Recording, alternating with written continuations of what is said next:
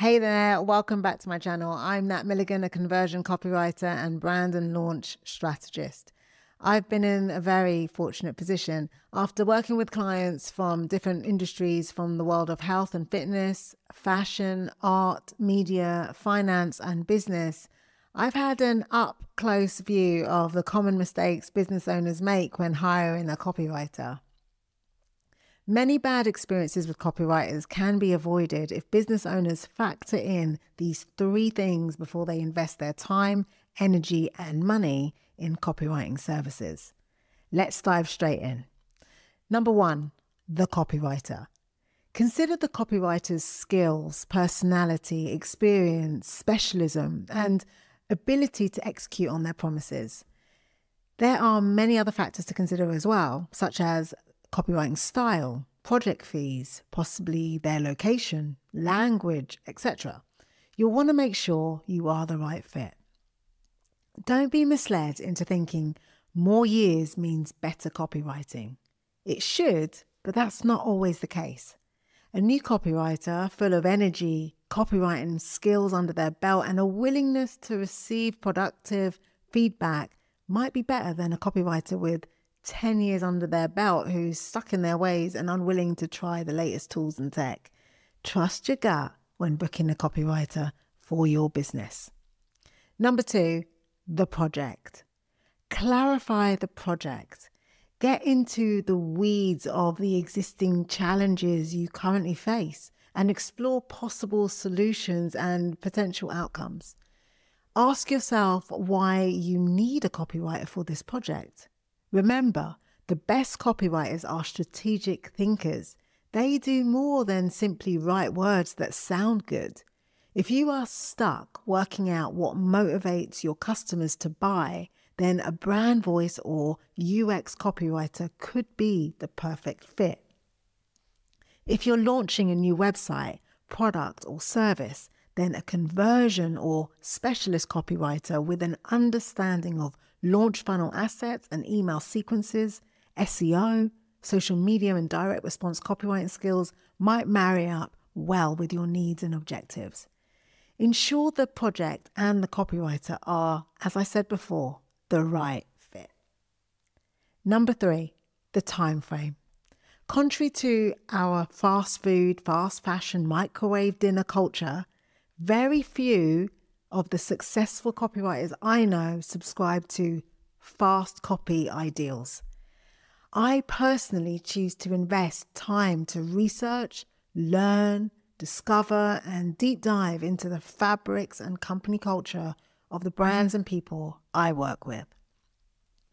If we were talking about relationships here, great copywriting is about the wine and dine experience.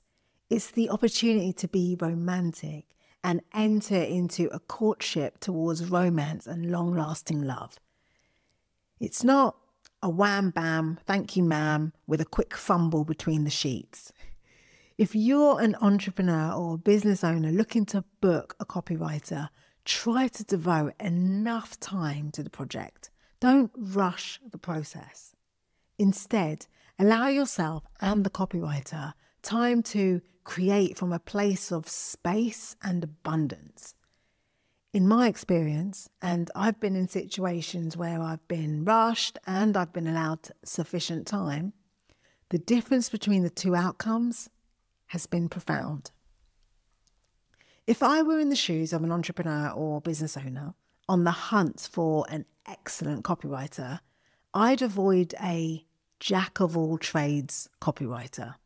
I'd look for a specialist copywriter. Specialism might look a little bit like this discipline. This relates to the type of copywriting they deliver.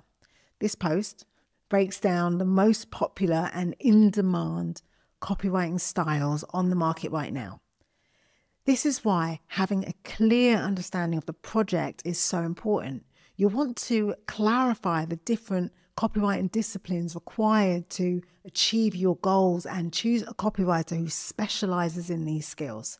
This will help minimize the chance of you being dissatisfied with the copy work produced.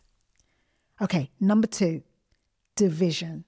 This relates to the industry, sector, or niche. Consider relationships, health and wellness, entertainment, business, finance, sport, tech, fashion, parenting, sustainability, etc. Some copywriters have a passion for a specific industry, sector, or niche and have a wealth of knowledge in their chosen field of interest. Their passion and knowledge put them at an advantage over a jack of all trades copywriter who has general knowledge about most things. Jack of all trades copywriters may need to carry out extensive research beforehand to come up to speed on a new industry sector or niche. There's nothing wrong with this, but I've found choosing a copywriter with shared interests as you, who has a passion for the products and services you offer because they're passionate about the space you operate in, can be of massive value.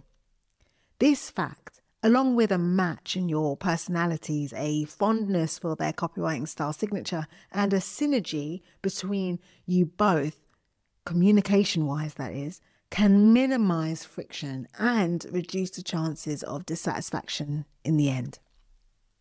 And thirdly, demographic. Some copywriters choose to specialize in a specific target audience, dealing with a specific problem that their copywriting services solve.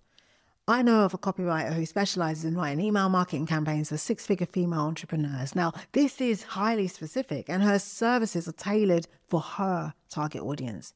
This might be an important factor for you to consider when searching for the right copywriter.